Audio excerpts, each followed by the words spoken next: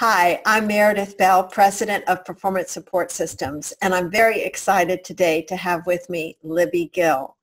And Libby and I first met on LinkedIn. That's been a couple of years ago now, right, Libby? And we became friends instantly due to our passion for developing strong leaders and also our desire to make a positive impact on the world. So we've become really great friends since then. And Libby has a very interesting corporate background for nearly 20 years, she held senior leadership positions in some of the media giants like Universal, Sony, and Turner Broadcasting. And she was really some of the magic behind the Dr. Phil show. So um, she did uh, that kind of work for many years. And then in 2000, I think it was, right, Libby, you decided to start your own company called uh, Libby Gill uh, and Company. And Libby's the author of two previous books that I've read, and they're both excellent. And today I'm going to be interviewing her about her newest book, which is called The Hope-Driven Leader. I love that title. And the subtitle is Harness the Power of Positivity at Work. Thank you for showing that. Um, and I have lots of questions for Libby about her book that I want to bring out for our listeners. So Libby, let's go ahead and get started. Absolutely. I'm glad to be here, Meredith. Thank you. And first, I want to just ask you to spend a few minutes talking about your experiences, the work you've done over the years, so we understand better how you came up with the material that's in your new book. Sure. Well, I, I had sort of a rocky childhood, which I talk about in another one of my books called Traveling Hopefully. And, and for me, the I was always looking for that, that willpower, that desire to get out of bed, get moving, get excited about life. And I discovered the, uh, the human potential and self-development literature as a, as a teen. Uh, it was not, not something that my family was too into. And I remember like sneaking books into my bedroom and hiding them under the bed so no one would see what I was reading. But I've always considered hope the jet fuel for the, the, the journey of work and life and this, this sort of powerful inner drive that gets you through tough times, that moves you towards a vision. And after that first career in television where I started executive coaching, and I started a business. I was in my mid 40s starting my first business from scratch, really kind of without a clue of what it meant to be an entrepreneur. But I really began to study hope in, in earnest and discovered the body of science called hope theory that comes from medicine and positive psychology. And with the clientele I was working with, people that were under stressed, that were really challenged by their leadership. Sometimes they were stuck. Other times they were people that were just meet, dealing with this ongoing massive change, hope seemed to me the missing ingredient for so many leaders and also cultures. Hmm. And when I think about it, because you and I have both read lots and lots of books on leadership over the years, what did you feel was missing from those other books around this specific topic of hope? To me, it was about who you are as a human being and which pieces of that, of your character that you bring to work. Because early on in my career in entertainment, when I first hit that first rung of leadership, I remember a very senior woman, probably the most senior I knew in television, who said to me, oh, you're just too nice for this business. And it wasn't a compliment, which I was well aware of. And I thought, you know, don't see leadership and, and, and being mean as a you know a necessary pairing. I think you can be nice and that's a very soft word in itself. But what I discovered is there are all these different types of leaders, some who, who really do well in terms of directing their team because they are, uh, because they demand it. They demand the results and the outcomes. And sometimes they happen in spite of the leaders, not because of them. And there were other leaders who could inject a sense of of positiveness, of graciousness, and of hopefulness into their cultures. And I saw, and for me, that worked much better. Uh, but I saw people who could inspire others by their own behavior. And that was the kind of leader I wanted to be. And as I began coaching, I really dug deep into what that meant. And I discovered hope theory, which is really comprised, a couple of the, the pioneers that come out of medical and, and positive psychology really looked at hope theory as having a future focused vision the the reality understanding the reality of the situation and knowing that there would be challenges and setbacks that those were simply part of the process and having the willpower and the stamina and seeing that there were multiple pathways to the end result so all of those things in combination they called true hope as opposed to that sense of false hope oh everything's going to be fine mm-hmm. and we and so see those clients who think oh it's all going to work out. And you know not so much if you're not really paying attention. So it it sort of put that old saying hope is not a strategy on its ear where i thought well you can give all the strategies you want but if your workforce is feeling hopeless they're not going to take them in they're not going to embrace them. And that was really to me what was missing from the literature. Mm-hmm. well i think you you did such a great job of addressing um, the theory part without getting bogged down, you know, in the theoretical and the conceptual. And so much of your book then is very practical. And one of my very favorite chapters, it probably is my favorite, chapter three, where you talk about servant leadership because I'm such a fan of that a way of being as a leader. And you made the point that servant leaders are the actual shapers of the hope-driven culture, and I like that term. So I'd love to hear more about your definition of servant leader and why you believe they are the ones that have to be behind this, developing this kind of culture. Right. And sometimes there, there are leaders who I, I, they probably either don't know the term servant leadership or would never apply that to themselves. But we know them immediately when we see them. They are the mm-hmm. leaders who feel like uh, I work for my team. They don't work for me. It's the mm. other way around.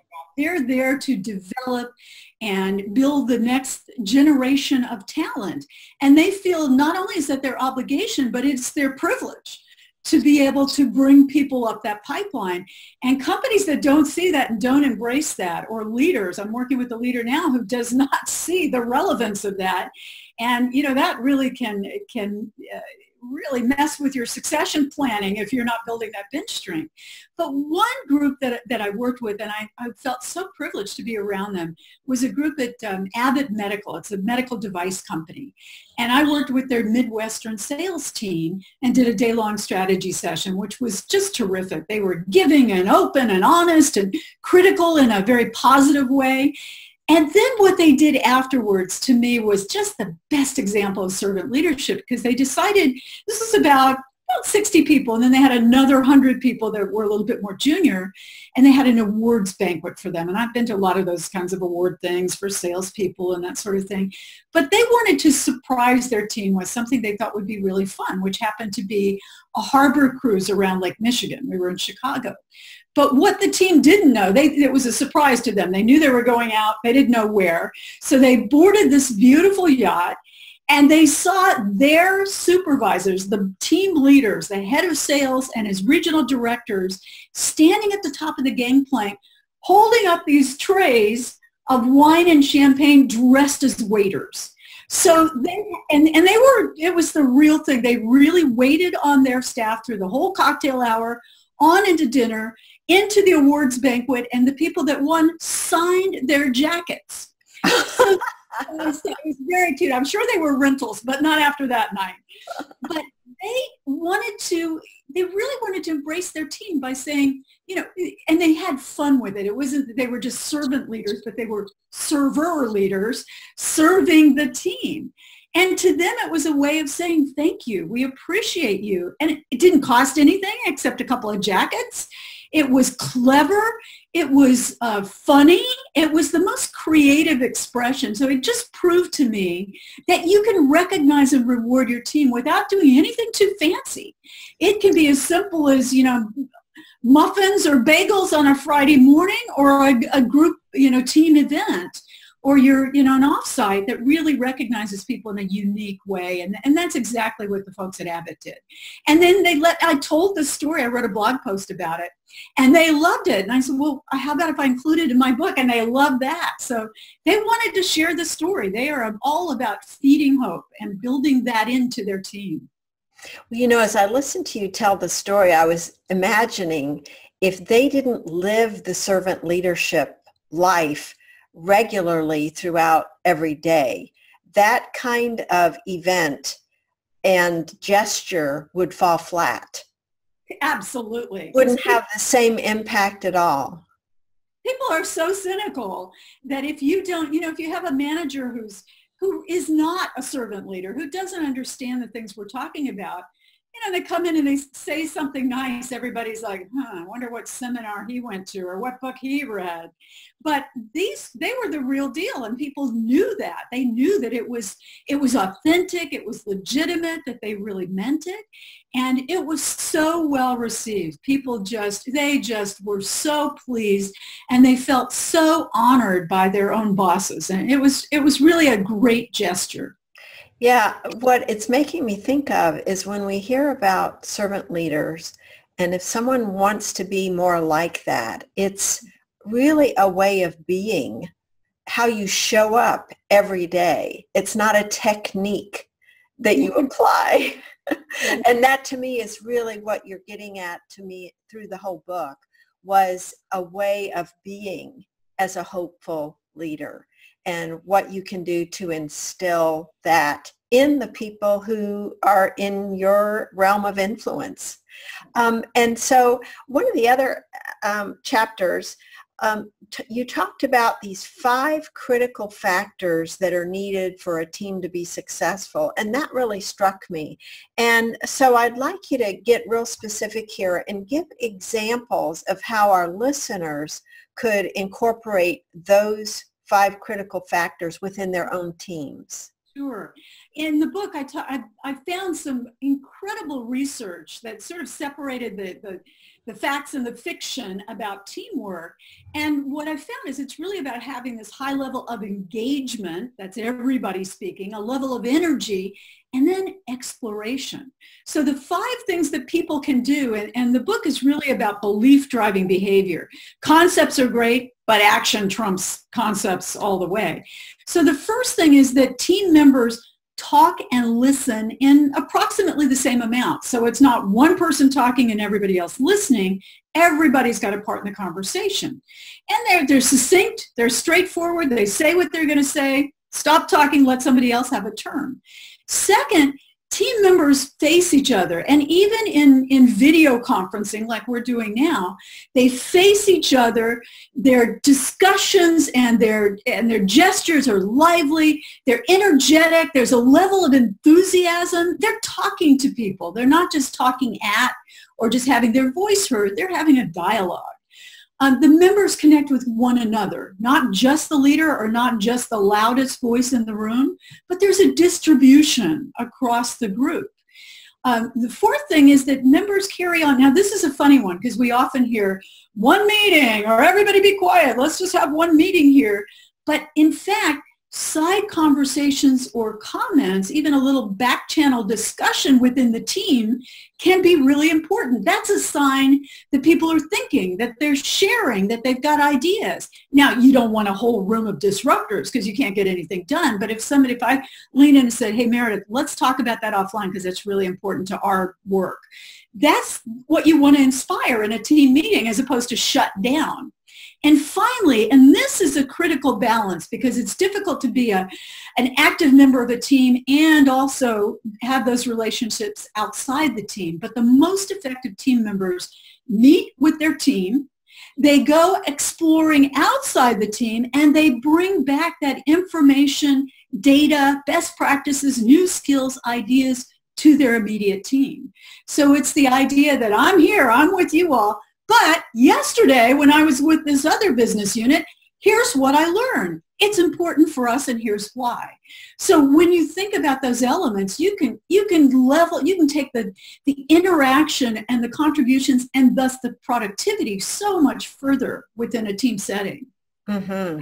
Those are so great. And you go into those in more depth. So again, this is just a sampling of what people can learn from you in your book. So I want to encourage folks to get a copy of it. it will be a handy reference for you uh, because it's such a good book. You know, the hope is the focus, but just leadership in general, there's so much you, you say about communication and communication skills and the little things people can do that make such a huge difference.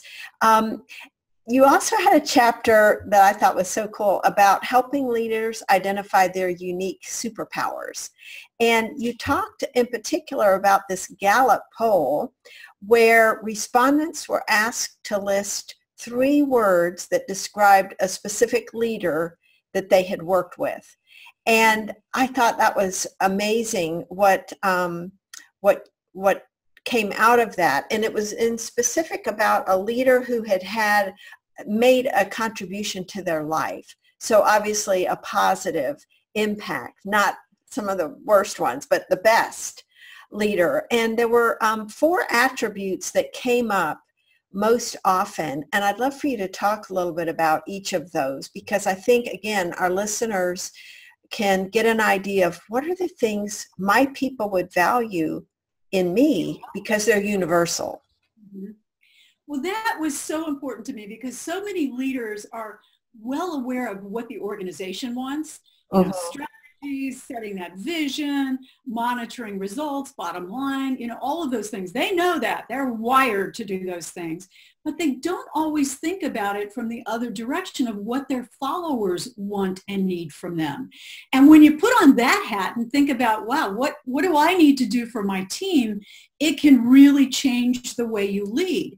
And after a review of, of lots of Gallup polls, the, the, and the literature about leadership, what about 10,000 responders came up with the four attributes they most want from their leaders are stability, which can be difficult when teams are going through change, but they need their leader to be that rock.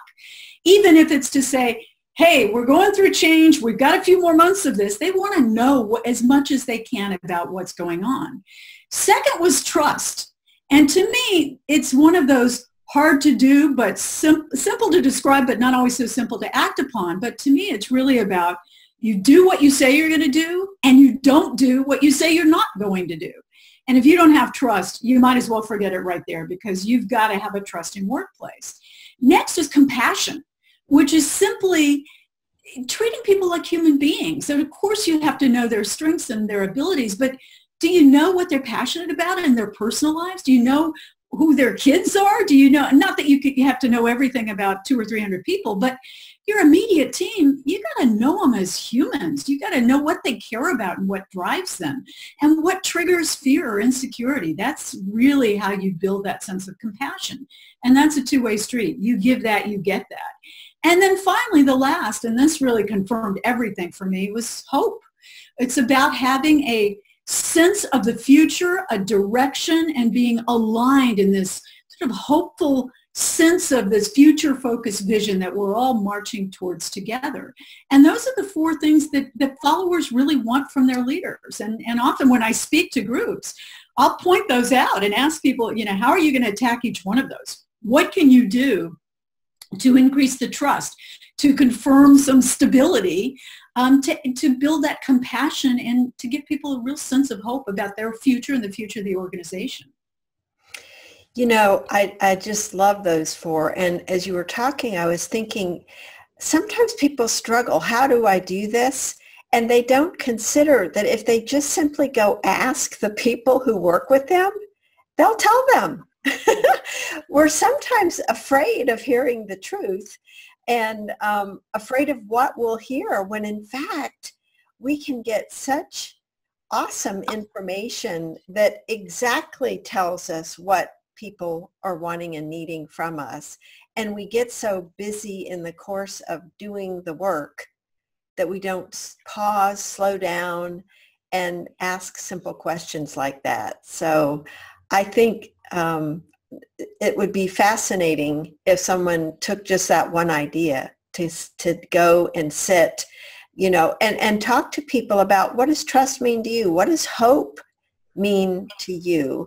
And, and especially in the context of my role as your leader you know so they get because people will be very specific about what they want and if they have trouble articulating it that's where to me the listening skills those communication skills come in where you pick up on what they're saying and not saying and ask more questions It, it, you're right. It's again, it's it's common sense. It's just not common practice. I wouldn't have a coaching practice if people were straightforward and honest and gave ongoing feedback. And and you know, we're sort of conditioned that what you hear might be really uh, scary or unkind or that you can't do anything about it and people don't want to hear the truth. But in fact, the more information you have, and when it comes from a leader who is truly a genuine loving, and I mean that, you, you can love the people that you, you work with, whether you're best friends in your social life or not. If you have a level of caring and compassion about them, they will tell you the truth. Mm-hmm. Exactly. And that, that takes time. That takes uh, one-on-one time to invest in that specific person.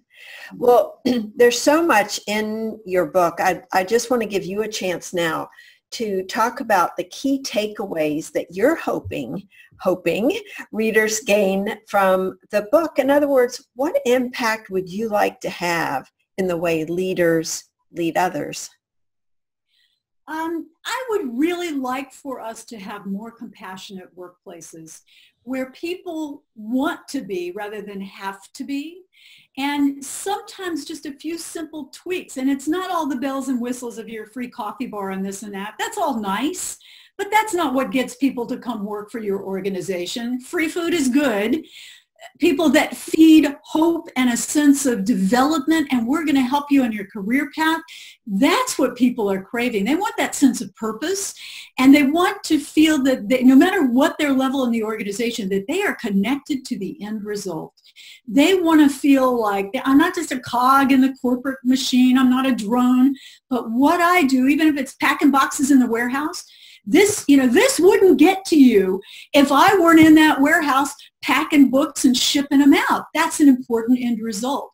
And when people feel that sense of connection, they, they, they want to be in the workplace. They want to share that sense of, of positive energy with each other. It truly is contagious.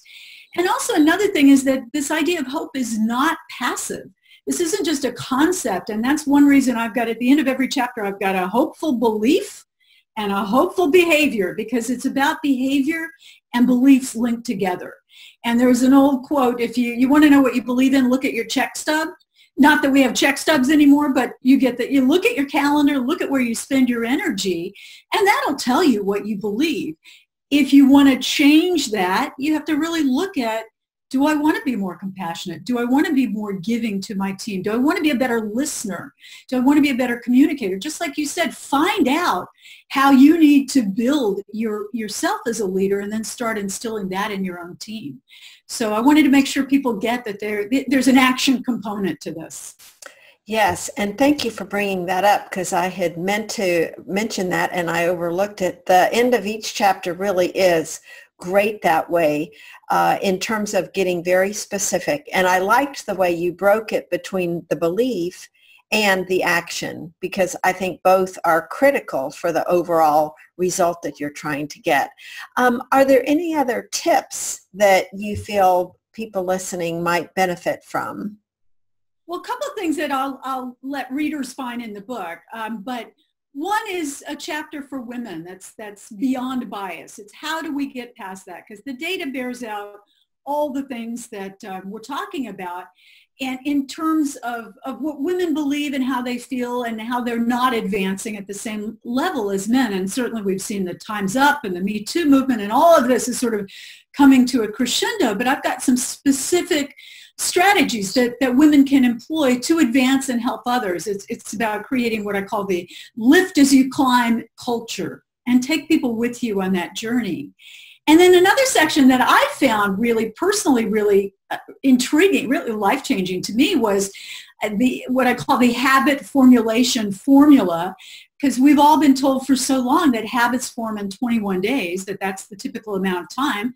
Turns out that's false, and I'll tell you, tell you in the book where that idea came from, what the truth is, and also four simple steps for building a habit that gets to the point of automaticity, meaning you do it without thinking about it. Uh, like buckling your seatbelt when you get in the car, which wasn't a habit when I was a kid. We saw that habit form over our lives. But getting to that point where you just do these things that are good for you and good for others without taking up too much brain space. That's a beautiful way to live. Absolutely. Oh, those are great points. And there's so much more in the book. You have um, a chapter also um, on mental illness, you know, the disabilities, the um, challenges, uh, people who are challenged and how to bring hope in those situations too. So it's really, to me, I like the holistic approach because it's geared to the workplace, but then you break it down into other components that are all that we all deal with in uh, at work and also in our personal lives with relatives and friends who are impacted by a lack of hope. And so I think what you give as tips and ideas really have universal application to all aspects of our lives. And to me, the whole book was very uplifting.